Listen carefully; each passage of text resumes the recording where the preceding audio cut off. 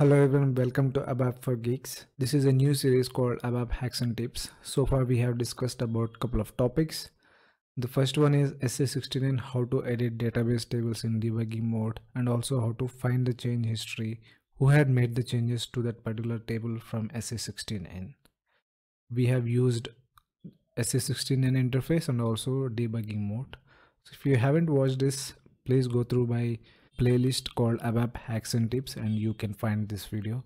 The second topic that I have discussed was testing BAPIs or FMs using sequence option, which is an option available in SE37 where we can execute multiple BAPIs at a time to perform a single a successful transaction. And the third one, which is I'm going to discuss in this video called how to debug background jobs in ABAP. Few people are already experienced, they might have known this uh, trick, but for people who haven't got any idea how to debug a background job, this video is going to be helpful. I will consider a basic scenario. There is a background job which is having issue and you want to find out the cause whenever we are working on any background job programs. Okay. The first thing is after the background job is executed and you can go to SM37 and select the background job and we can debug there itself. And the second one is if you want to debug the program while executing in the background itself, you want to take the control of the program and debug that particular program in background job. That is what we are going to do in this video. Let's start.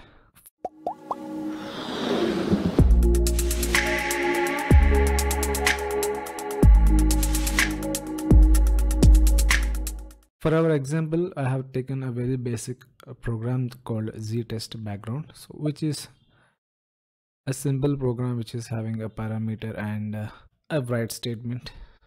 Nothing much complex here. So what I will do is I will execute this uh, program in background mode and I will try to debug the same. I know it doesn't make any sense to debug this very simple program, but for the sake of simplicity, I'm doing this. First, we'll schedule this program in background and uh, for that I'll go to SM36 I'll create a step for this background job. Let me uh, define the background job name. I will say GAFC for gigs 1 and I'll click on enter and it will ask for me the program name that I, that I want to execute in background. So this is my background job name.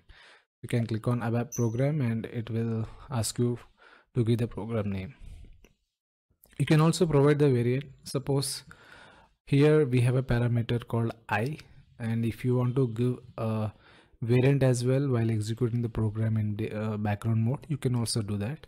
You can simply provide the parameter here and save the variant. Give a variant name variant 1 test variant. So this output will be given to the background job via this variant so this is my variant called var1 and i can provide the variant name here and click on enter and save it. Now one step is defined for my background job. So this is the program that i'm going to execute in background. Come back from here and uh, save this. Now we need to define a start condition like when do you want to execute this program? So i want to execute this program immediately and I want to debug that. So let me click on start condition and click on immediate. Now the immediate start is uh, checked here and you can save this. As soon as you define the start condition the program will not get uh, executed in background. You have to save it. So now I will save this program so my program has saved and also released. So I can see the background job execution result in SM37 so this is my job name. Let me copy this. I'll go to SM37 here I'll provide the background job name which is just now that I have executed and click on execute. And I can see my background job here so when I click on the spool and this is the spool number which is generated for that background job. Now I'll click on the web list and I see the message which I have written in the program. If you want to debug this program this is the a technique that we can use. And select the job name. In the command line you can simply type jdbg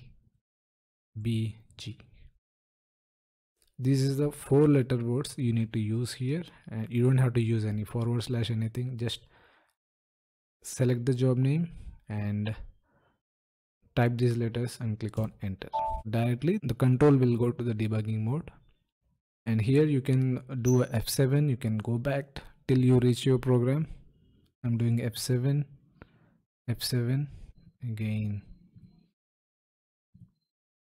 so i came to my program and from here i can take the control and start debugging my program if you do not want to press F7 again and again again, you can simply put a session breakpoint in that program and directly you can click on F8 and the control will come here. Let me show you that quickly as well.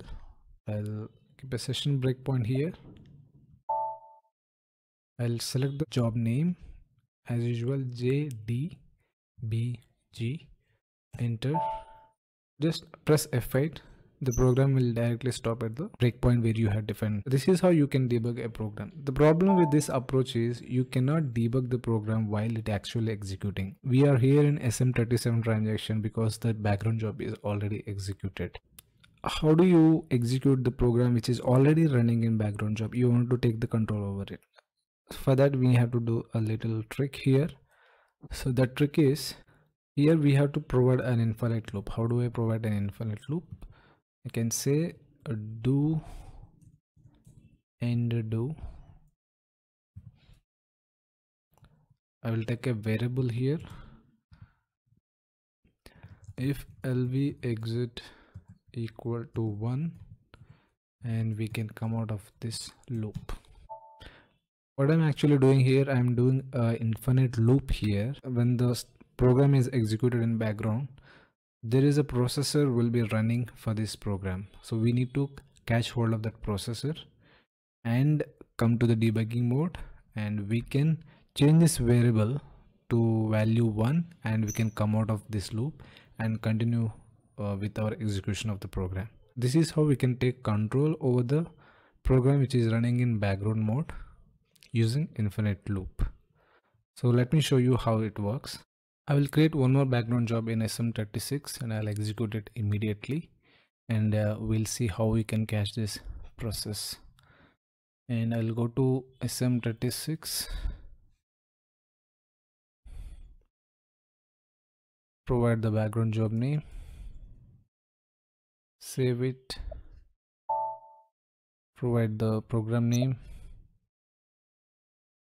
You have defined the step click on start condition immediate save and again click on save so that the program will start.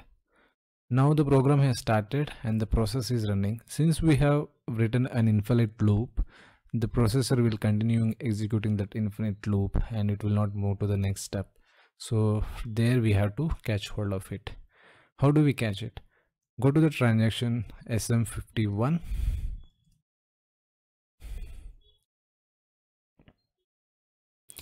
and double click here. And you can see the current processor which are running. So here you see this is the one which we are running. So this was our program right? Actually this is running here. From here we need to go to our program. How do we go to the program which is running in background? So you select that processor. This is our program name of the program being executed by the work process and I'll select this row. Go to administration program debugging. Debug the selected program yes.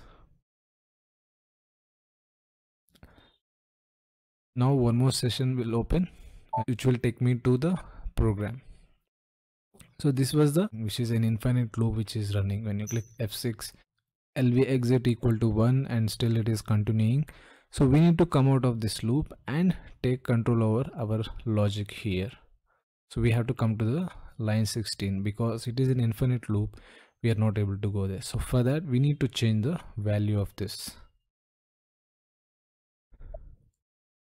One. So now i can come out of this loop and i i came to the line 16 I took control over my program which is running in background using infinite loop. So this is a trick that we need to use if you want to uh, debug the program while it is actually running, not after the program is executed in the background. So now I can debug my programs and I will do F8 and if I refresh here in the work processes, so that process is finished. When I go back to SM37, if I provide my program uh, job name F8 and I can see this program is completed. This is how you can debug the programs in background jobs after the program is executed and as well while the program is executed in the background. Hope you guys find this useful and if you like this video please hit that like button subscribe to my channel it will encourage me to do more videos thank you so much for watching